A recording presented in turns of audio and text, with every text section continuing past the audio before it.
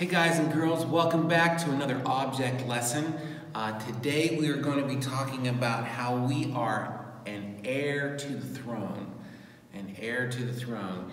And uh, uh, we're going to be talking about uh, how God is so good with us. And so we have been blessed by God so much. I mean, so much. You think about all the things um, that God has blessed us with. You know, our family, our friends, um, our church, uh, the country that we live in, um, we can sit down and we can do two things.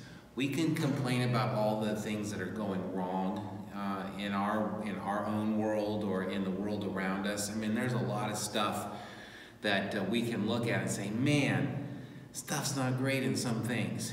But if we stop and start thinking about how much God has blessed us, I mean, uh, again, mentioning our friends and our families and, and the church that we have the opportunity to go to, this church, uh, and just everything, everything that God has, has blessed us with and has given us. You know, and above all of it, God says that everybody who trusts in Jesus will one day uh, live in heaven forever. I mean, isn't that awesome? I mean, that is just incredible. And you know, it means that we have nice things now and then living in heaven later. I mean, I think that's what I call being blessed. And, you know, it's one of the neatest things about God is that during our lifetime, He has plans and purposes for us. And I want to encourage you um, the, today, girls and guys, that God has a plan for you. You were born for a purpose uh, on this world, and don't let anybody ever tell you different. You are on purpose. God designed you to be here. He has a plan for you that's going to do amazing things. And if you trust and believe in Jesus Christ as your Savior, uh, He is going to have you fulfill that plan. Uh, and, you know, it kind of reminds me, you know, this ping pong ball uh, and this blow dryer, right? Um, you know, and the ping pong ball, um, you know, this is like us. This is who we are. And then the hair dryer would represent, in this particular example, this would represent God.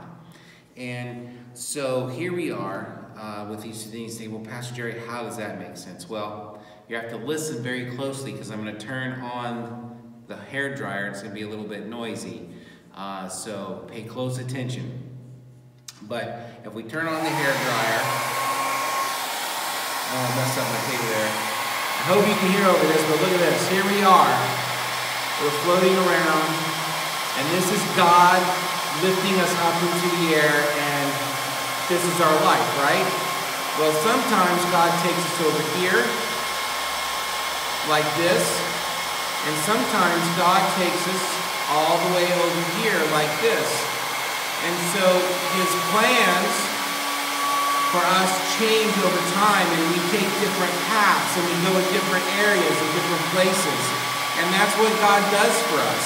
He takes us to all these different places. He shows us all these different things. He gives us all these different experiences and he leads us down these different paths to represent him to people all over the world.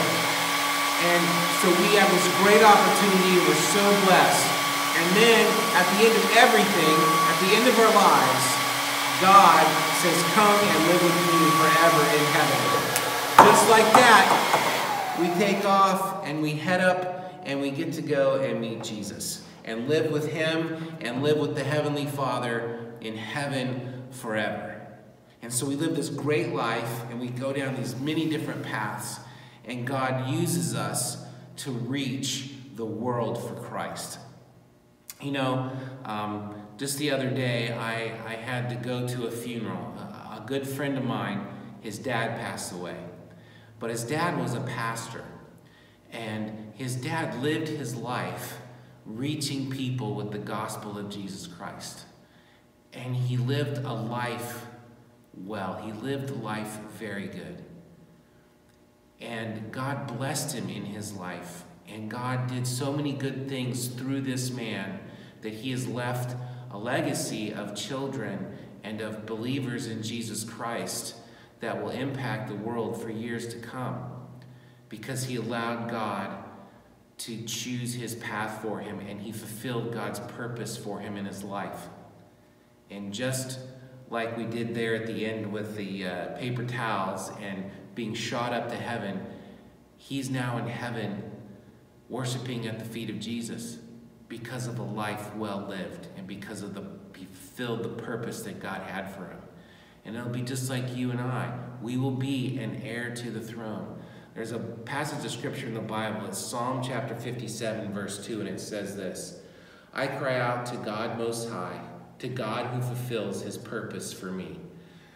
We have a purpose, each one of us, that God wants to fulfill in our lives.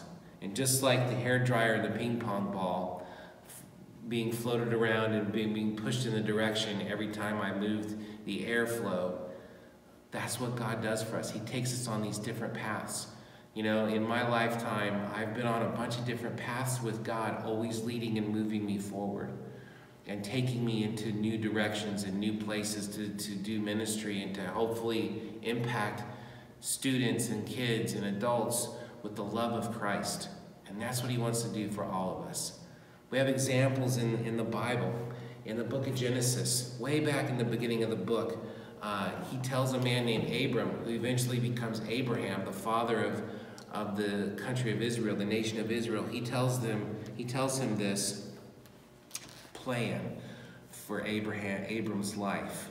In Genesis chapter 12, verse 1, it says, Now the Lord said to Abram, Get out of your country, from your family, and from your father's house to a land I will show you. I will make a great nation, I will bless you, and I will make your name great, and you shall be a blessing. And I will bless those who bless you, and I will curse them who curses you. And in you all the families of the earth shall be blessed. And so Abram had a choice to make. Did he, was he going to follow after God, or was he going to do his own thing? Well, Abram chose to follow after God, and because of that, we are all blessed because he followed the path God chose for him. Wasn't always necessarily an easy path, but it was a path God had for him, and he did do that, and now because of that, Christ, as a result of all of that, Christ is now our Savior because Abram chose to obey God. And because God's rescue plan was for the nation of Israel to someday, in that nation, have a son born named Jesus, who would become the sacrifice for us all, who would become our rescue plan. And that when we accept him as our Savior and we trust in Jesus, he's got so many good things for us. We can be so blessed. In the midst of a lot of craziness, we can still be blessed. So I hope you're encouraged today. I hope you had fun with our little experiment here with airflow, with the hair dryer and the ping pong ball and the paper towels. And I hope it was fun for you. I know it was fun for me. Um, have a great week. We'll be back next week with another object lesson. God bless you, and we'll see you on the next video.